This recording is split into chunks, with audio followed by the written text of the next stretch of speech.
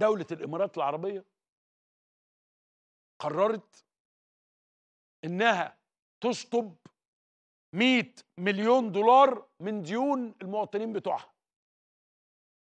مواطنين كانوا خدوا قروض من البنوك سواء كانت قروض عقارية قروض يشتروا عربيات قروض يخشوا في بيزنس ومش قادرين يدفعوا.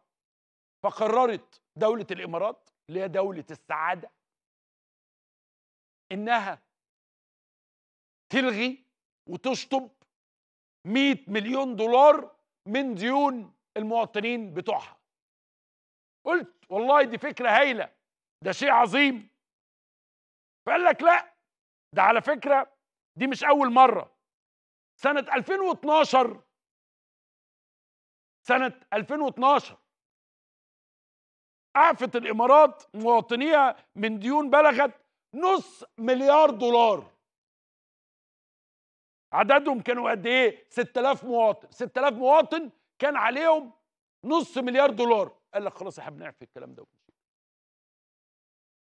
دول أما بتوصل لمرحلة إنها عندها استثمارات ناجحة عندها فائض من الثروة بتدلع مواطنيها غير الدول اللي جنبها اللي عندها فائض في استثمارات بتروح تصرف على الإرهاب. دولة الإمارات العربية بتصرف على مواطنيها. دولة قطر بتصرف على الإرهاب. استثمارات ناجحة في دولة الإمارات.